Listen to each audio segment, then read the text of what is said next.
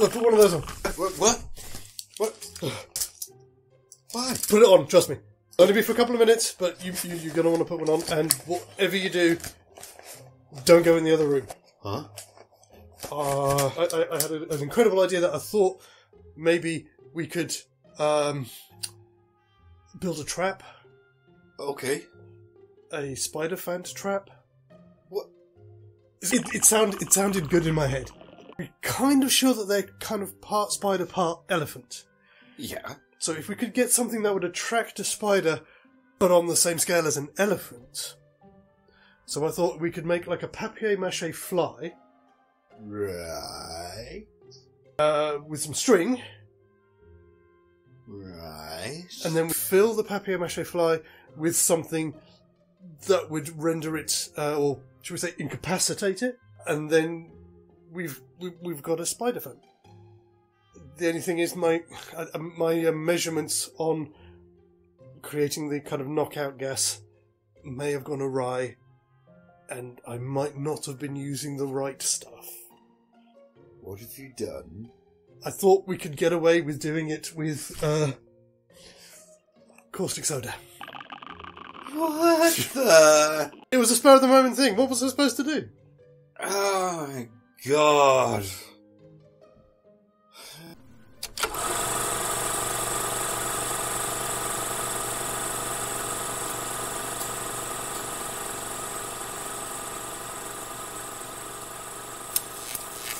Maybe movies. Everything smells of rubber. Okay, good for you. I'm not sure if that's a good thing. Oh, welcome. welcome, welcome, welcome. It's Friday. Uh, we are Maybe Movies. My name is Max, And I am Sam. and we are in the middle, or rather coming to the end, of another month of making fantastical films that no one will ever see. Definitely not. As you know, we have been looking at uh, First Men in the Moon and the Life Force, and we are up to Act 3 of First Force, which has gone off in a very strange direction. Just a little bit. Just a little bit. Before we get to that, um, first, a couple of quick reminders again to uh, everyone out there watching the shows. Thank you very much for your support. We, we really do appreciate it, and please do keep coming back and tell all your friends and tell your um, tell your vicar. Who were? but do, tell them, tell them all. and then we can be burnt in effigy.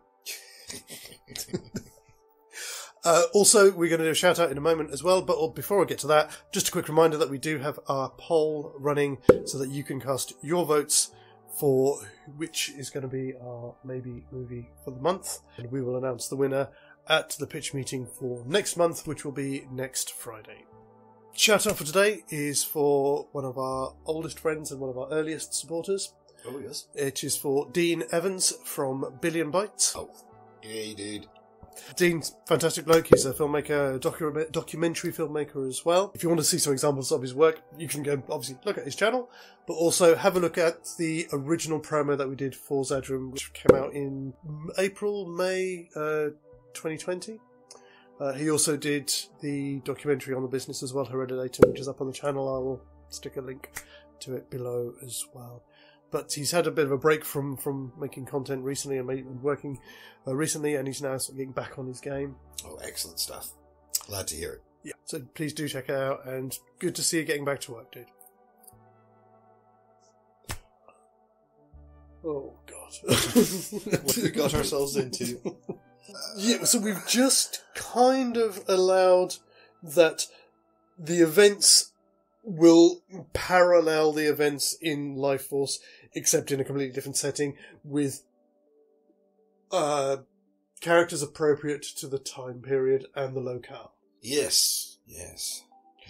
So please, if you ever, you know, if you have seen Life Force and if you've seen First Men in the Moon and know the period, if you've got any suggestions of, you know, things that we haven't had a chance to cover, drop them in the comments below. Oh, yeah, we'd like to hear what you think. Absolutely. But, this is starting to look wobbly, mate. It is. Is there any way of weaponizing Cavorite as a way of getting them off the planet? But A, we don't have the time to do it, and B, we don't know if he's got the equipment to do it. Uh, well, yes, I mean, it took a very specific setup. It would take weeks, probably, just to get the furnaces and everything that he'd need set up, never mind all the ingredients. Exactly.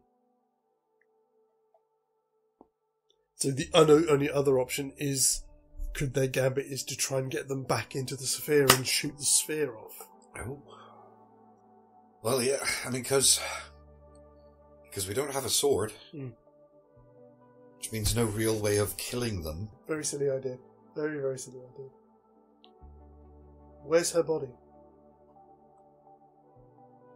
I was going to say really silly idea.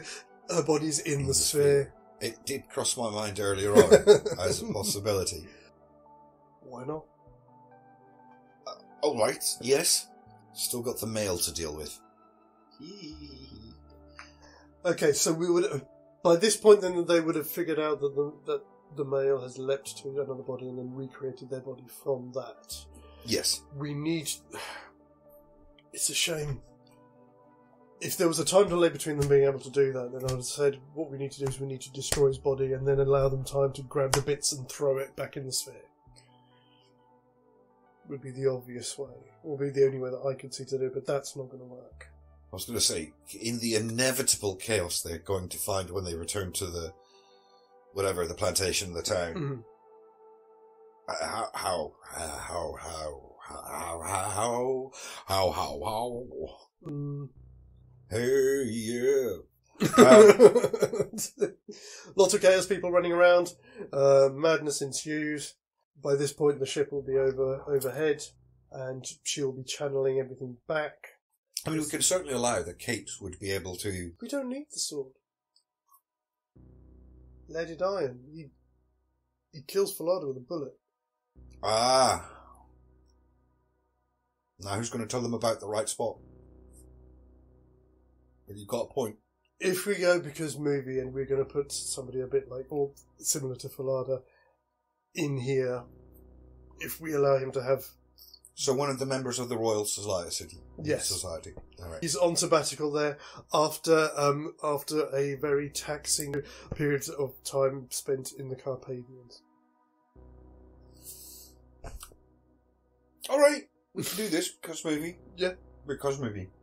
All right. So the British Army turn up, load of rifles. One of them's going to get it, unless we want to make it one of our heroes, right, going to do it. It needs to be one of the heroes, definitely. Okay. Yeah. which would have to then I suppose be Bedford. Mm-hmm. Would have to Afraid be. Yeah, he's one. the man of action. Yes, Cavor's with Kate trying to figure out where, trying to speak to her and find out where Mathilda May's body is. So I'm thinking it's in the compartment where they hit the chickens. Yes, of course it is. Vampire chickens. now that would, I, I, you know what? In the eighties, they would have been crazy enough to do it. It's, well, we had we had a, um, a vegetarian vampire duck, Oh, oh yeah, that's very true. Yes, we did. Which I must admit uh, I, th- I may have mentioned it at the time, but again, when we did um, when we did Twilight, and they were talking about them being vegetarian vampires. oh God, yeah. didn't even think. Didn't even think we missed that joke, didn't we? So we're saying that Bedford's going to take out the male vampire. yes. um, in the midst of the chaos and yeah, just the absolute mess of, of, of the entire town. Are we saying that we're going to lose Kate at the end? Is she? I mean, I know it's a slightly different setup here in terms of the relationship between them. I know we've allowed for she's got the psychic connection because she was possessed, and it's a residual effect. Yeah, So we- we're happy to go through to the end of this without a Carlsen foil who ends up going with them. Because that's one of those nebulous bits at the end of the film that never has any explanation where they say that he was always one of them. they've been here before. Which is kind of, I think, when the I was, implications that they bred with someone. the idea that I had about it being like a, almost like a recon mission. I didn't know whether they could pass a portion of their energy into somebody so that it's passed down through the bloodline. So maybe that's the whole point of what they're doing here, is to seed that for somebody to come and find them in a few generations' time. I don't know. The implication is very vague Yeah. in, in the ori- original film. But it does kind of feel like somebody, like towards the end when they were writing the script, was like, oh wow, let's do this right at the end, it'll be fantastic. Yeah, yeah. this will suddenly make sense.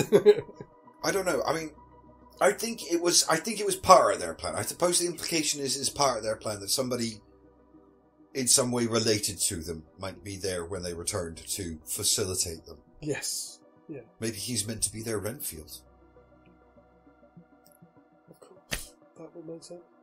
I don't know. I don't, I don't know. What do you think, folks? Although his, his outcome is a little bit better than.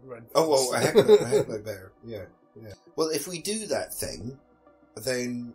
Uh, uh, We'll still potentially lose one person because somebody's going to have to be in the sphere to, uh, to do the shutters. Ah, of course. Of course. So, uh, one way or another, it has to be someone.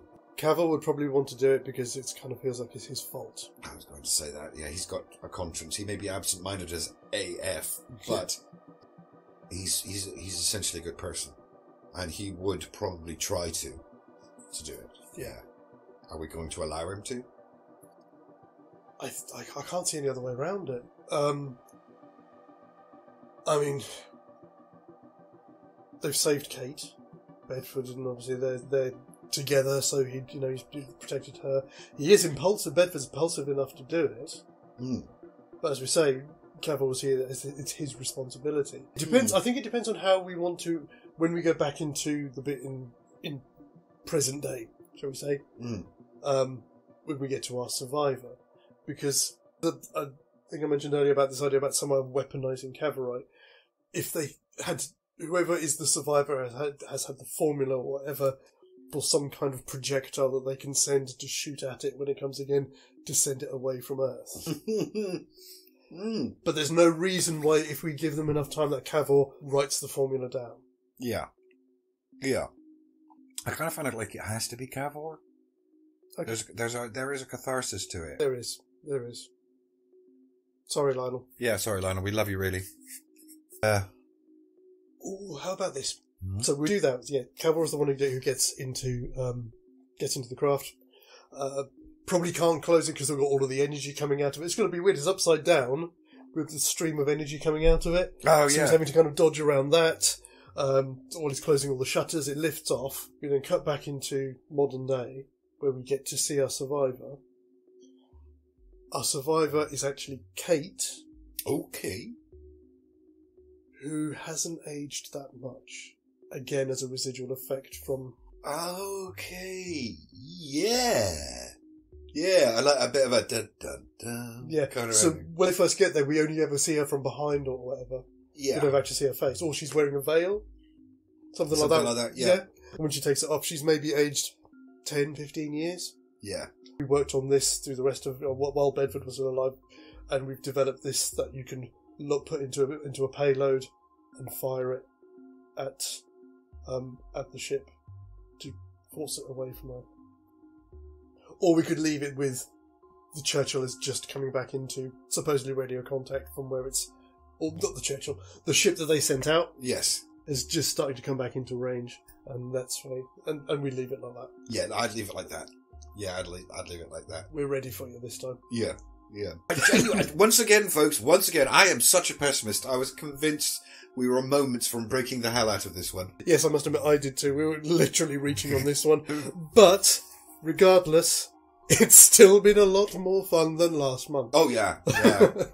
that was, that was, try and find a thing to do. I dare you, try and find a thing to do. Decision time. Um, I think, well, I go first because I think you've got two, haven't you? I've only still got the one star. Uh, right, okay. I should probably have had more, but never mind. It's they're, they're a lot easier to manage, I think, when there's three of us.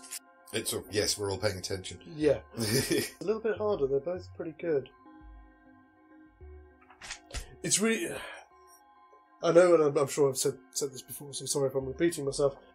But there is always that tendency to look at the most recent one that we've done because that's the one that's freshest in your mind. Mhm. But again, in, in this case, I'm probably going to have to say um, First Force Okay. because we've ended up with not only a film that is a, a parod or a parallel to Life Force, but it's almost like we've created a prequel to Life Force. Okay. All right. Okay.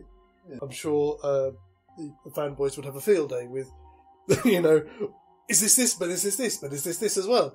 Oh yeah, yeah, yeah, exactly. There's a lot that we've glossed over because we simply don't have the knowledge of the of the locale and how we could use that. No, that was that was the very short and sweet version. Somebody else figure it out. You go do it. You there. You writer person. You go fix it. Life in the Moon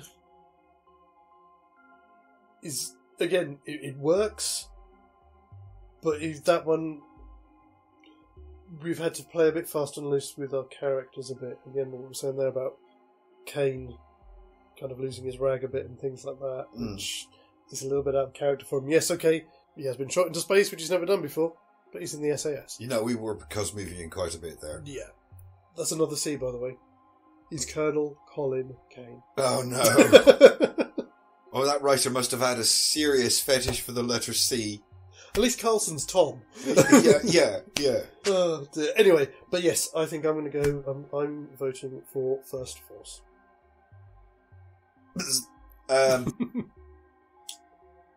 I was probably going to lean on the side of Life on the Moon. Uh, but now I think about it, especially when you sort of laid it out that way, I think it might have been because um, felt like we had to work harder for it. Mhm. So I feel like it's more earned. But having said that, you present a compelling argument. Yeah, I'll go with First Force. Okay, Yeah. Yeah. Fantastic. So uh, that's two votes for First Force. Uh, now it will be over to you at home.